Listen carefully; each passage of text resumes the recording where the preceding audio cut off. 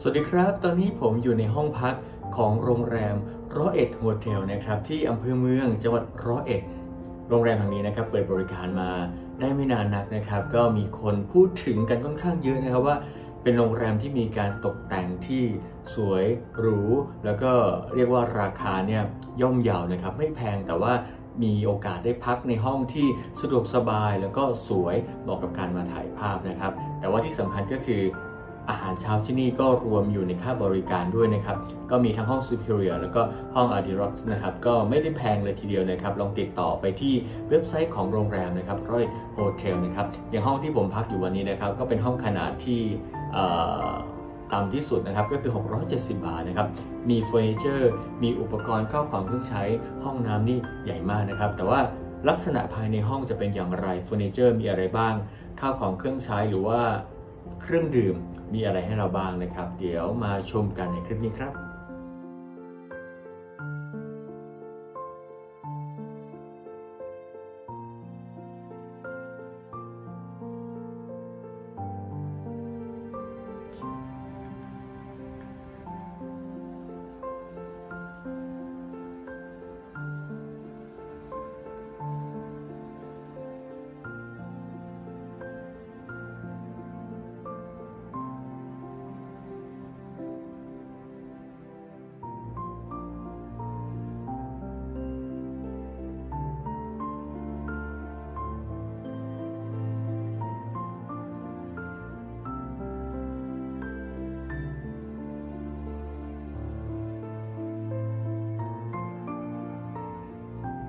เตียงนอนนี่ผมว่าเขาค่อนข้างที่จะเลือกสีได้สวยมากครับ ชอบสีน้ำเงิน สีขาวครับ มันดูดีครับ แล้วก็ใกล้ๆเนี่ยก็จะมีพวกปลั๊กพวกสายไฟมีพวก USB port เรียกว่าออกแบบให้ตอบโจทย์กับคนรุ่นใหม่นะฮะหนึ่งห้องนะครับของ Superior ก็สามารถที่จะพักได้ 2 ท่านนะครับ เป็นอย่างน้อยนะครับ แล้วก็ที่หัวโต๊ะมีทั้งสองข้างครับ มีปลั๊กไฟมี USB port นี่ รียกว่ามาอยู่ที่นี่ไม่ต้องกังวลเรื่องของปลั๊กไฟที่จะเสียบนะครับ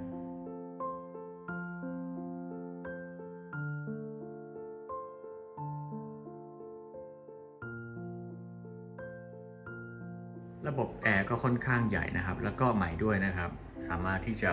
กำหนดปรับเปลี่ยนอุณหภูมิ หรือว่าความเร็วของลมใบพัดได้ตามใจชอบนะครับ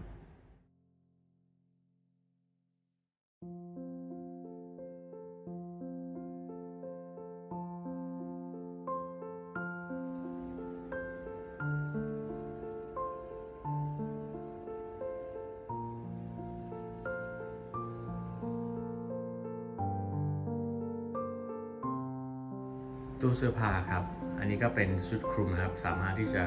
ใส่ได้นะครับ ทั้งอยู่ในห้องหรือว่าไปสระว่ายน้ำครับ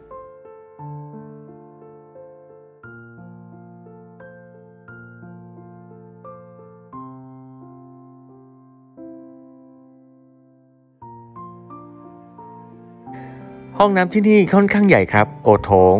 ใช้สบายมากครับ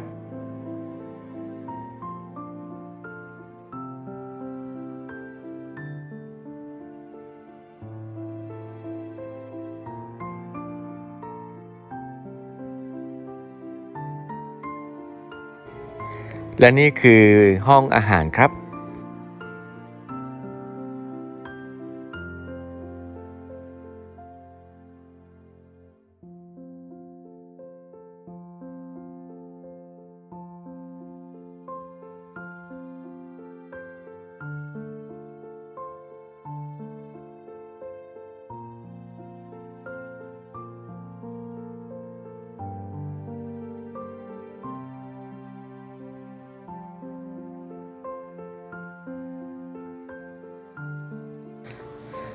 ถ้าชอบบรรยากาศภายนอกก็สามารถไป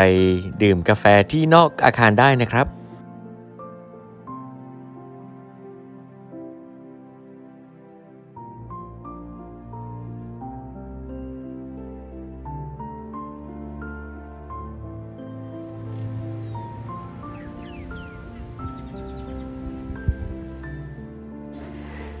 ที่ชั้น 8 ก็จะมีสระว่ายน้ำครับ นอกจากนี้ยังมีส่วนบริการอาหารและเครื่องดื่มด้วยนะครับ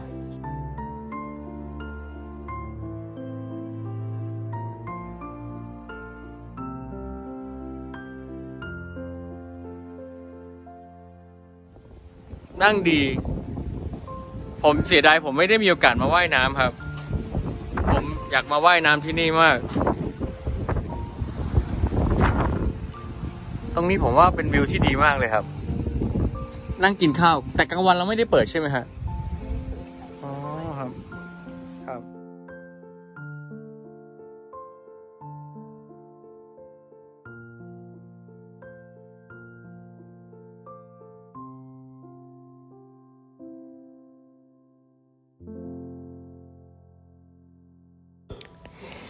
บริเวณนี้เป็นทางเข้าส่วนของล็อบบี้โรงแรมนะครับ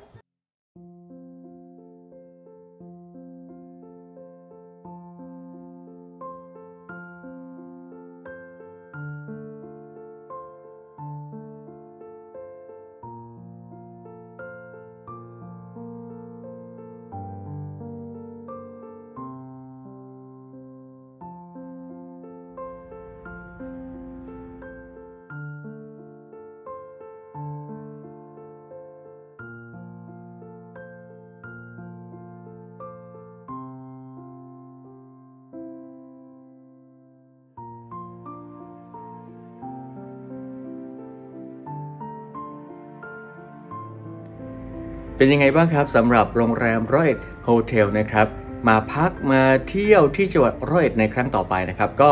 ลองเอเลือกโรงแรมร้อยเอ็ดโฮเทลนะครับเป็นสถานที่พักของคุณนะครับ ราคาก็ไม่แพงนะครับ สถานที่ในการพักผ่อนทั้งส่วนกลาง แล้วก็ห้องพักส่วนตัวรวมถึงสระว่ายน้ำห้องอาหารนะครับก็ถือได้ว่ามีมาตรฐานแล้วก็ที่สำคัญราคาไม่แพงด้วยนะครับสำหรับโรงแรมร้อยเอ็ดโฮเทลนะครับสำหรับวันนี้ก็สวัสดีครับ